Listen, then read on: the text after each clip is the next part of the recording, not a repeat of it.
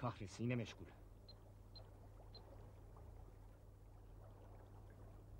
Cenk, o telefonu niye meşgul ediyorsun?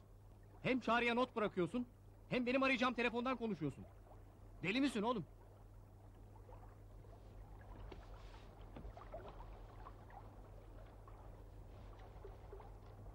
Lanet olası yine kesildi. Anlaşıldı konuşamayacağım. Allah kahretsin.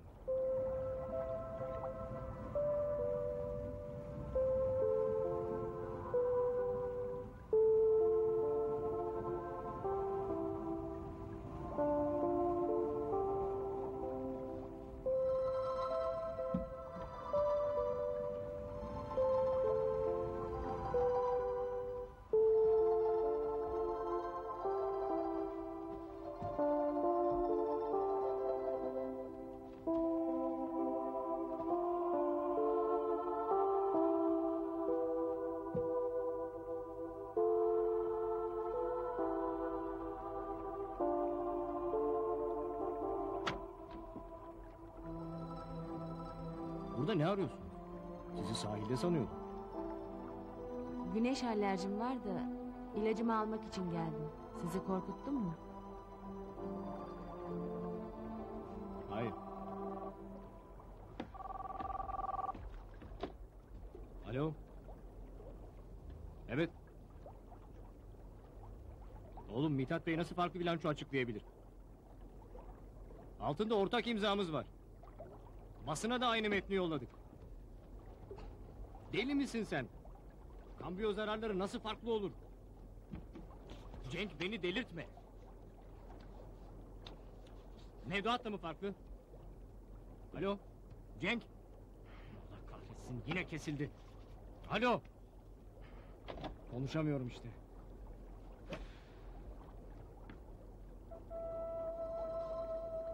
Biliyor musun? Az önce bir an içinde olsa işimi unuttum.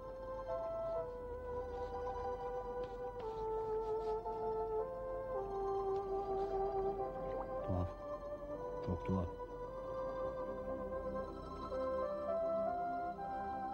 Bana bir şeyler oluyor. Ya işler üstüme geliyor da onlardan kurtulmak için başka hayatlar düşünüyorum. Ya da İşlerin hep böyleydi. Farklı olan iş değil. Hayatında farklı bir şey var ve sen bunun adını koymakta zorlanıyorsun. Çok mu belli oluyor? Ben anlıyorum. Çünkü o sözünü ettiğimiz farklılığı ben de hissediyorum. Sen neden söz ediyorsun? Ayşe'den mi? Evet. Çevremizde farklı olan ne var ki ondan başka?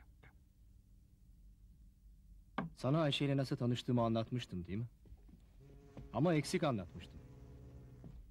Çünkü dün teknede olan bir şey beni o güne tekrar götürdü. Bilmiyorum sana nasıl anlatsam. Galiba biraz çekiniyorum. Arkadaşın mı senin? Anlat. Doğru. O an aramızda müthiş bir elektrik oluştu. Kısacık bir an. Onun bacağını gördüğüm an. Bugüne kadar çok kadınla beraber oldum. Ama en iyi beraberlikleri bile o anki heyecanın yoğunluğuyla değişmem. Sonra aynı heyecanı arabanın arka koltuğunda birlikte otururken hissettim. Ve dün teknede. İlk kez bir kadın karşısında çatırdadım. Biliyor musun? Dün seni bile kıskandım. Yo. O çok hoş ve akıllı bir kız. Duyarlı ve ince. Benim ilgim sadece bu temiz kalmış bir genç kızın varlığından duyulan hoşnutluk o kadar. Senin gibi çatırdamıyorum. Öyle dedim değil mi? Çatırlıyorum dedim. Nelerle uğraşıyorum. Mithat Bey basına farklı açıklamalar yapıyor. Başka bankalarla ortaklık arıyor. Ben çatır diyorum. Ne denir benim gibilere? Hadi bir yerlere gidip bir şeyler içelim. Canım sarhoş olmak istiyor. Bin bir geceye gidelim. Olmaz. Sana şaka gibi geliyor ama ciddiyim. Vallahi senden kıskanıyorum onu. Saçmalama deli. Ama arada sırada buraya gelip Nalan'a yardım ederim. Herhalde bu küçük yardımlarımı anlayışla karşılarsın değil mi? Elbette canım bir tane. Yalnız anlamadığın bir şey var. Ben senin çalışmana karşı değilim. Düşünce olarak karşı değilim. Yalnız senin başkalarına hizmet etmene tahammül edemiyorum. Ne yapayım elimde değil. Az önce sizi düşündüm hatta arayıp davet etmek istedim ne hoş aranmadan geldiniz. Dünyanın en sıcak kadını. Nalan Hanım'ı takdim etmekten onur duyarım. Memnun oldum. Şöyle oturalım mı? Yok mu? Kim? Kaptan hanım. İçeride. Size kahve yaptırmamı ister misiniz? Ben rakıya devam etmek istiyorum. Biraz meyve, biraz da... Ayşe gelmeyecek mi? İki duble rakı getir meyvede. Nasıl gidiyor? Bugün barmaidimizi evlendirdik. İş bana düştü. Birazdan yanınıza gelirim. Aslında bu bizim ikinci kapımız. Levent içkiyi biraz fazla kaçırdı. Hiç böyle yapmazdı ama. Ona kahve göndereyim mi? Gönderme. Kızar. Ama sen gitsen iyi olur. Ver ben götüreyim. Hoş geldin. Merhaba, sen de hoş geldin. Biliyor musun? Dünkü geziden herkes çok memnundu. Ben de çok memnundum. Hı hı.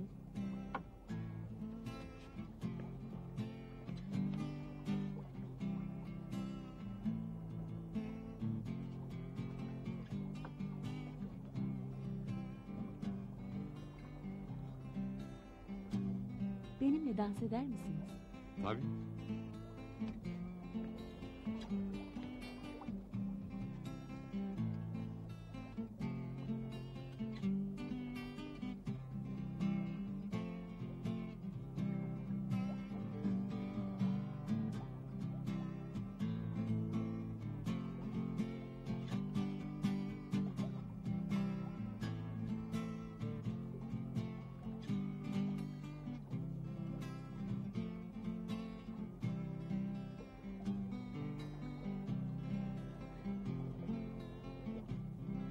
Gidiyor musunuz?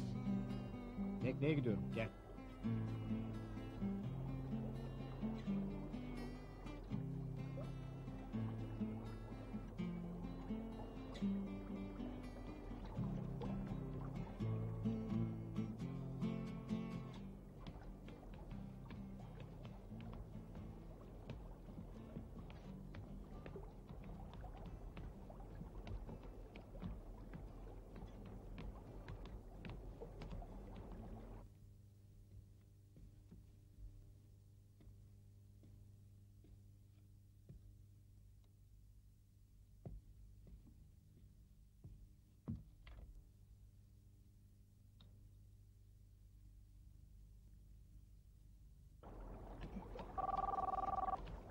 Telefonu açmayacak mısın?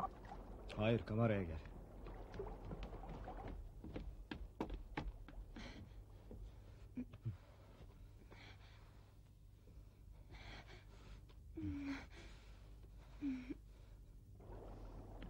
Adamın gibi biliyorum tekneye gittiğini.